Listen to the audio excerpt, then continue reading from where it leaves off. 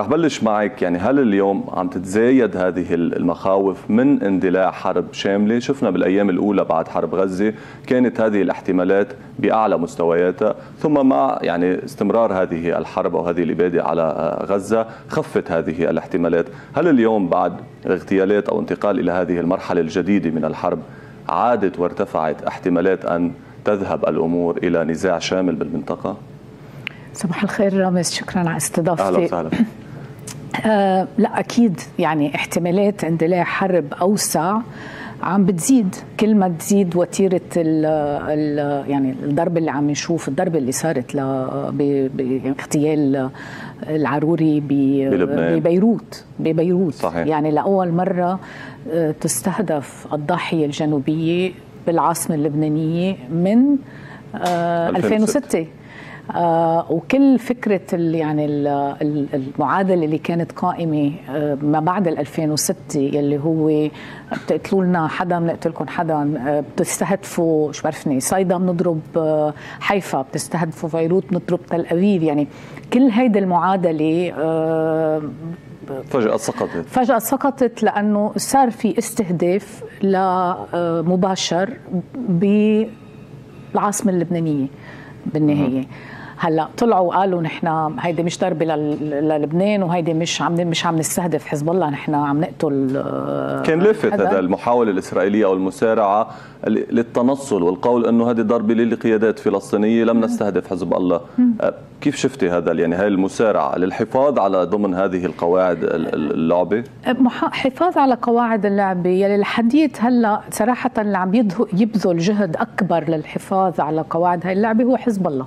يعني اليوم حزب الله واضح جدا إنه بده يخلي يعني نوع من الضغط على إسرائيل على حدوده على حدود لبنان الجنوبية.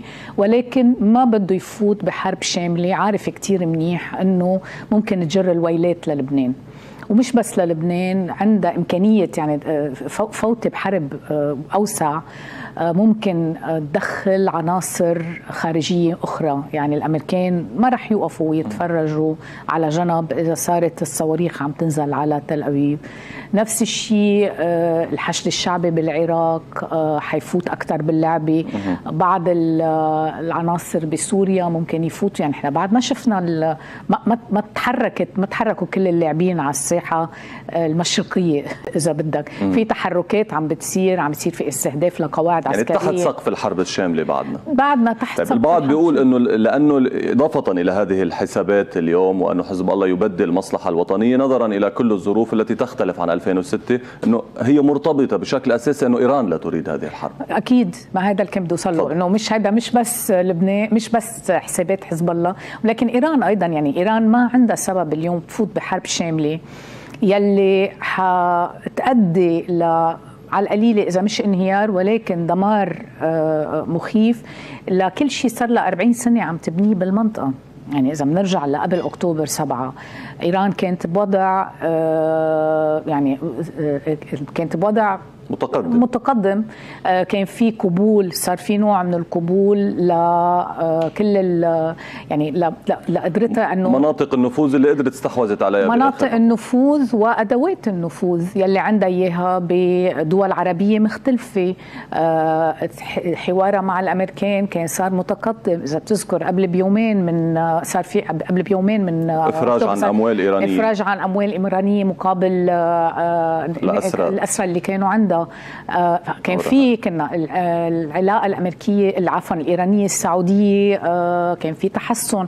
امورها كانت عم بيصير في قبول أوسع لنفوذها بالمنطقة. إنه أوكي إيران هون وعندها نفوذ صار بكذا دولة عربية وقادره تحرك هذا النفوذ. اليوم منا مستعدة هي تخاطر بكل هذا الشيء حتى لو لم تستهدف مباشرة. رح أسألك إذا تستهدف مباشرة أم لا مع التفجيرات اللي حصلت اليوم. بس يعني بالحدث يعني هذه كل هذه العوامل اللي عم تعدديها حضرتك بتعزز الفرضية أو الميل نحو النظرية اللي بتقول إنه ما حصل ب 7 أكتوبر الإيرانيين ما كانوا على علم فيه برأيك؟ آه، اللي المعلومات اللي اللي عنا إياها. بتشير إلى إنه كان معهم خبر بإنه في عملية عم تتحضر. في كثير من التدريب لعناصر حماس اللي قامت بالعملية أو العناصر الأساسية آه، وقاموا فيها آه، يعني كان في الإيرانيين كانوا آه، مشرفين عليها. وأيضا عناصر من حزب الله. يعني هاي عملية ما صارت بأبو أسبوعين صار لهم أكثر من سنة عم بحضروا لها. كان في كان في دراية بإنه في عملية عم تتحضر. ولكن اللي فهمنا إنه تفاصيل العملية وتوقيتها ما كان ما كانت إيران على دراية بالتفصيل هذا ولا بحجم العملية وبكل يعني مثل ما بكل بتفاصيل اللوجستيه أو أو التوقيت بشكل أي. أساسي. ما كان ما كان. هيدي المعلومات كلها بتشير إنه ما كان معهم خبر بهذا الموضوع وفوجئوا باللي صار ب 7 أكتوبر. طيب معطى جديد حصل بالأيام الأخيرة إضافة إلى عمليات عملية الاغتيال اللي حصلت ببيروت وسبقتها بأواخر العام الماضي بسوريا للعميد الإيراني آه، آه، رضا الموسوي. مسألة التفجيرات اللي حصلت بكرمان بإيران وتبني داعش وعودته إلى الساحة بأي إطار يمكن وضع اليوم هذه التفجيرات وربطها وتبني داعش علنية لهذه التفجيرات؟ كثير صعب. يعني أنا هلأ بظل لأنه في شحب المعلومات على هذا الموضوع. يعني أنا بنحكي داعش. إنه ترجع داعش على الساحة هذا اللي بدي أقوله يعني إنه مين مين مين يعني داعش؟ مين بيستثمر بس مين فيها مين, مين عم بيستثمر؟ ومين هلا داعش ما راحت. يعني داعش اليوم صار في حكي عن هز انهزام داعش. داعش بتحسيها موجودة غب الطلب يعني كل يعني فترة حدا بده إياها طلب يستثمر فيها. لا وإذا بتروح يعني أصلا في بعض مناطق ب يعني المدن بالعراق آه بعد في عناصر كانت منتمية لداعش بعدها عم تتحرك. في داعش كمنطقة الدولة الإسلامية اللي أعلن عنها وكانت مسيطرة على مناطق من سوريا والعراق هيدي راحت. ولكن العناصر اللي كانت منتمية لداعش في كتير بعد آه، يعني موجودة وموجودة بمناطق مختلفة من سوريا ومن العراق بالذات. وعم بتدور بحلقات أصغر بكتير ولكن قائمة.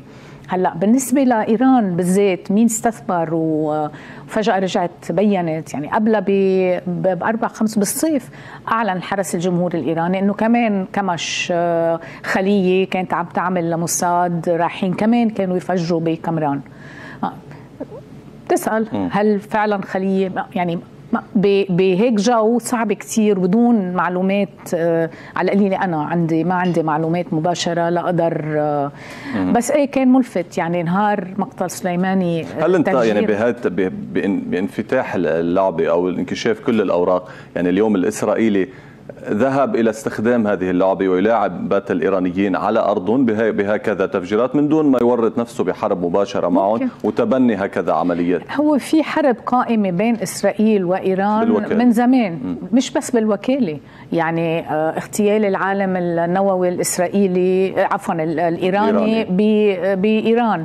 آه ال cyber warfare الحرب السيبرانية. الحرب السيبرانية اللي قائمة بيناتهم. بقى في في آه، يعني في حرب عم بتصير آه، بسموها shadow shadow warfare قائمة بيناتهم صار لها سنين يعني منه شيء جديد ومستمرة وحتضلها مستمرة.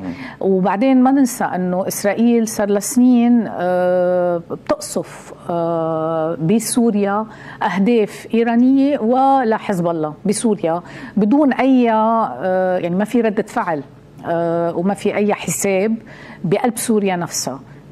صار سنين.